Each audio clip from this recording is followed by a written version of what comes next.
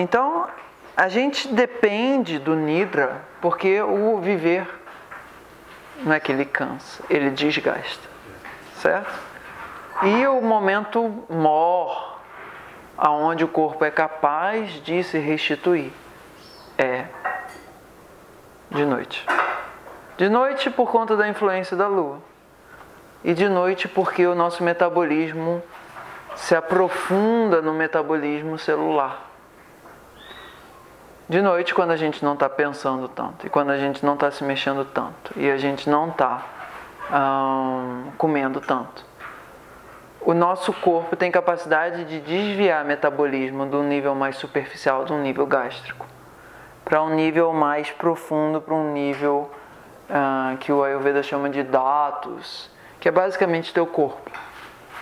Então, no Ayurveda são descritos três níveis metabólicos o nível metabólico gástrico, que quando você comeu ali o café da manhã e tal, ele está ali dentro, que é o que a gente chama de estômago, intestino, etc e tal. Ok?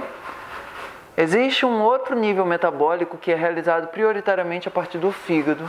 Esse é o metabolismo, no geral, mais secundário. Ele tem uma capacidade de uh, separar cinco princípios fundamentais, de acordo com a Ayurveda e esses cinco princípios fundamentais, eles são, digamos assim, o A, B, C, D, E, é, dependendo da região do Brasil que você vem, uh, do que o corpo vai usar quando precisa. Então, durante o dia, a gente está usando mais esse metabolismo A e B, superficial, gástrico, e o metabolismo do fígado, porque o fígado sempre trabalha. Cara, ele é, é non-stop, assim, feriado, ano novo, ele não está querendo nem saber. Ah, o principal órgão metabólico em termos químicos do corpo é o fígado. Ok? Então ele funciona tanto para dar apoio ao metabolismo superior, no sentido gástrico, quanto no metabolismo mais interno, interior, ah, das células. E esse metabolismo que o Ayurveda chama de datus, dato agnis, Dato se escreve D-H-A-T-U, com um tracinho em cima. Ok? Aquilo que dá sustentação ao nosso corpo e é o que a gente, no geral, chama de corpo. Esse metabolismo funciona prioritariamente de noite. E esse metabolismo, se você não dorme direito, você não é capaz de reconstituir teu corpo direito. Então, no Ayurveda, quando você quer perder peso, relativamente, uma das coisas que você deve fazer é dormir menos. No Ayurveda, quando você quer envelhecer, não estou dizendo que perder peso é igual a envelhecer, o que você deve fazer é dormir menos. No Ayurveda, quando você quer se matar, o que você deve fazer é dormir menos.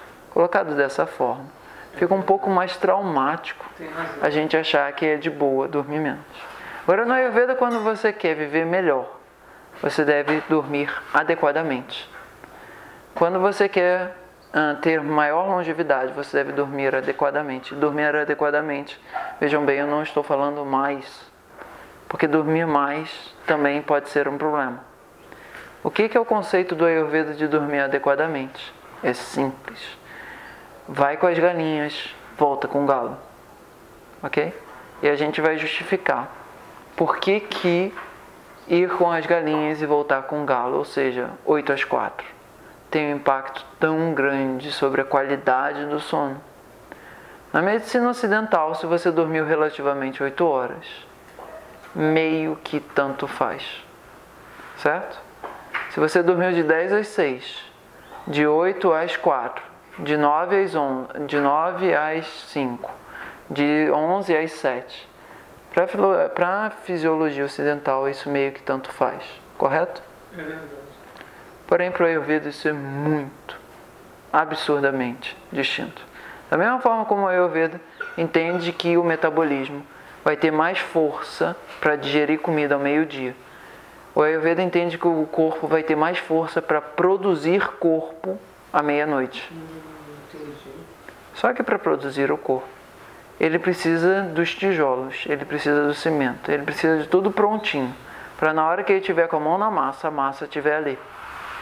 Então, na perspectiva do Ayurveda, o material que vai ser utilizado para a reconstrução do corpo é entregue entre o pôr do sol e meio que 10 da noite. Quanto mais você recebeu esse material, mais o teu metabolismo, quando for ter que reconstruir o teu corpo, vai conseguir ter material de boa qualidade para fazer um bom trabalho. Se você vai dormir às 10 da noite, na perspectiva do Ayurveda, você está tentando fazer uma casa, cavando terra do chão e fazendo uma terra, uma casa de. Hum, não que isso seja ruim, mas é porque para o nosso conceito terra de permacultura vai ser tudo de bom, mas a ideia é que você está fazendo aquilo improvisado, você está fazendo aquilo com material de segunda mão. Você não deu tempo de preparar, descascar, fatiar. Você pegou a cenoura do jeito que chegou da feira e jogou na panela, sem nem tirar a terra dali. Ok? Então, se você vai dormir 10 da noite, na perspectiva do Ayurveda, você perdeu o bonde da compra dos materiais. E você está trabalhando, digamos assim, com o que tem, alucinado, e da forma mais. Hum, jeitinho que você consegue ali nas coxas. Dessa forma. Se vocês têm dúvida, eu proponho a vocês a seguinte experiência. Durante um final de semana, vai para um lugar onde ou não tem energia elétrica, ou você não acende a energia elétrica depois que o sol se põe. Aí você vê o que, que acontece uma hora depois que o sol se põe. Lamento, você dormiu.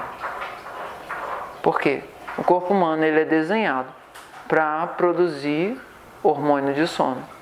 Como é que é o nome? Melatonina, não é isso? Depois que você não tem mais estímulo luminoso. Então, é natural para o sistema você dormir quando não tem luz. Por quê? Porque esse é o momento onde a natureza é muito sábia em fazer com que você tenha bons tijolos para reconstruir o teu corpo. Só que a gente tem WhatsApp. A gente tem Facebook. A gente tem Instagram. A gente tem Telegram. A gente tem o Netflix. A gente tem o que mais? É, é infinita a lista, né? E aí o que acontece é que a gente fica recebendo luz na nossa testa, na nossa tela mental. Isso dificulta que a gente perceba aquele primeiro que acontece algo em torno de meia hora, uma hora, ah, depois que o sol se põe. Se você tem dúvida, eu aposto contigo. Você fica num lugar sem luz elétrica. Pode até acender uma vela se você quiser. Não adianta botar a lanterna do celular na tua cara. Entenda o objetivo do exercício. E fica ali uma hora sem luz elétrica. E você vê que você vai ter sono. E você vê que você vai dormir.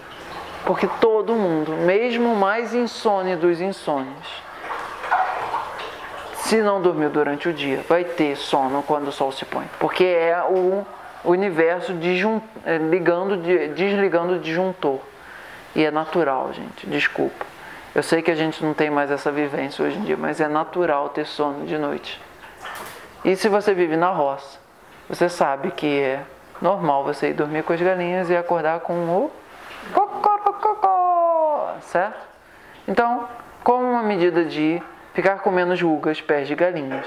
Eu sugiro vocês ir dormir com as galinhas e não ficar com elas no rosto, certo? Ou seja, uma, duas vezes por semana. Experimenta. Experimenta. O que, que acontece com a tua pele? O que, que acontece com a tua disposição?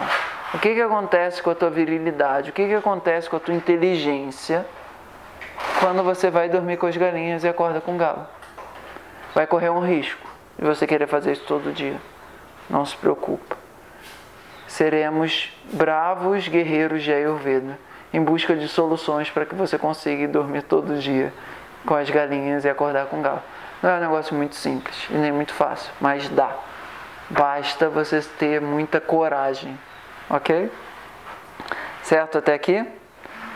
Então, Irmãos, é preciso coragem para que a gente hum, dê valor ao sono numa sociedade hum, impotente, numa sociedade que cai cabelo, numa sociedade sem memória, numa sociedade com Parkinson, numa sociedade é, com um monte de problema de articulação, com Alzheimer, com um monte de problema de quem não dorme direito. Ok? Mas é preciso coragem. Porque as pessoas vão te sacanear quando você disser que dorme às 8 da noite. e você vai precisar ter muita confiança no teu Ayurveda para achar que aquilo dali realmente compensa. Você não ficar acordado até a novela das nove. é, e o WhatsApp, Facebook, etc e tal. 8 ainda é fácil, o problema é acordar às 4. Mas, teoricamente, a gente vai especificar isso um pouco mais. A ideia do Ayurveda é que o primeiro terço da noite, se a noite tem 8, ah, 12 horas, isso dá 4. O primeiro terço da noite é um horário pesado da noite. É um horário onde a umidade volta à terra. Às vezes chove até, ok? Então, esse primeiro terço da noite, grosso modo, de 6 às 10, é um terço cafa, é um terço pesado, é um terço nutritivo o segundo terço é um terço onde ah, os animais saem para caçar. É um terço onde a lua cheia, quando está a lua cheia, está no alto do céu. Ok? Da mesma forma como a gente tem ah, sol do meio-dia, a gente tem lua da meia-noite. Ok? E teoricamente é o horário que a galera sai para noitada. Nove da noite é o horário que a balada começa. Dez da noite. Isso não é uma convenção social só. Esse é o horário que o pita acorda e as pessoas ficam mais ativas metabolicamente. Isso acaba significando sexo na nossa sociedade, mas isso também pode significar saúde e teu corpo se regenerar, ok? Até mais ou menos as duas da manhã, quando o topo do burburinho da noitada, o top, top, top. Já começa a galera que tinha que pegar já pegou, a galera que já tinha que sair para o motel já saiu e fica só, digamos, quem ficou sobrando na panela, que é o horário vata, que é onde ficam os poetas andando pela rua, os vampiros também, no sentido assim, sabe? Você vê aquela pessoa ali, parece que não tem corpo, parece que flutua.